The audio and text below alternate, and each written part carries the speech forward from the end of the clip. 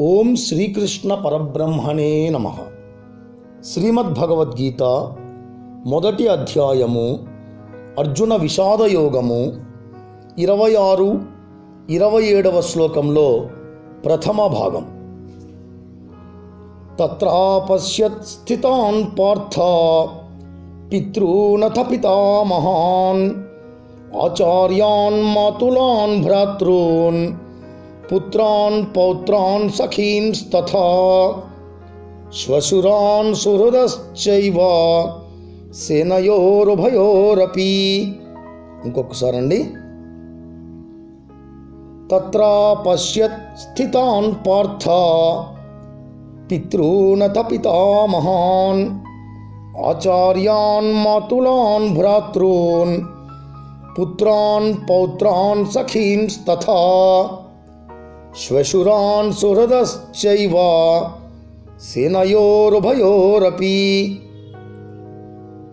నిన్న సంజయుడు ధృతరాష్ట్రుల వారికి చెప్పడం జరిగింది.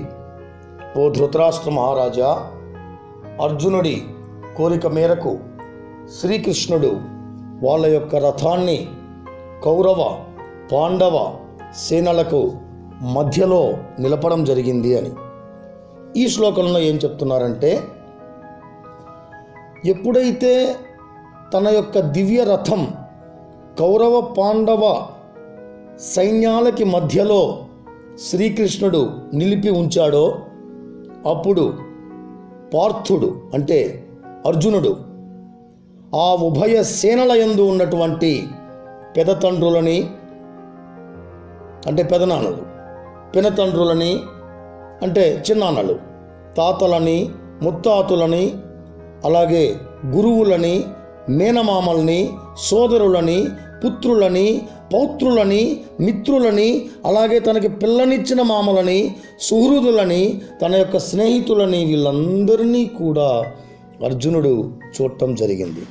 ఇక్కడ అర్జునుడికి పితామహులు ఉన్నారు అంటే తాతలు ప్రపితామహులు ఉన్నారు అలాగే గురువులు ఉన్నారు మామలు ఉన్నారు ఇలాగే చూడండి భూరిశ్రవుడు భీష్ముడు సోమదత్తుడు బాహ్లికుడు ద్రోణాచార్యుడు కృపాచార్యుడు పురుజిత్తు కుంతిభోజుడు శల్యుడు అలాగే పుత్ర సమానులు పుత్రులు అయినటువంటి అభిమన్యుడు ప్రతివింధ్యుడు ఘటోద్గజుడు లక్ష్మణుడు పౌత్ర సమానులైనటువంటి లక్ష్మణాదుల పుత్రులు వీళ్ళందరూ కూడా ఎంతోమంది ఉన్నారు.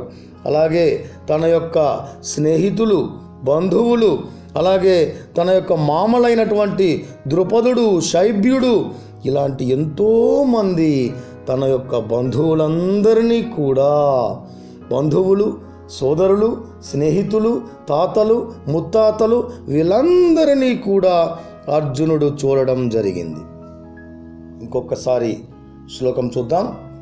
తత్రా పశ్యత్ స్థితాన్ పార్థ పితృనథ పితామహాన్ ఆచార్యాన్ మాతులాన్ భ్రాతృన్ పుత్రాన్ పౌత్రాన్ సఖీన్ తథా శ్వశురాన్ సుహృదశ్చైవ सेनयोरुभयोरपि।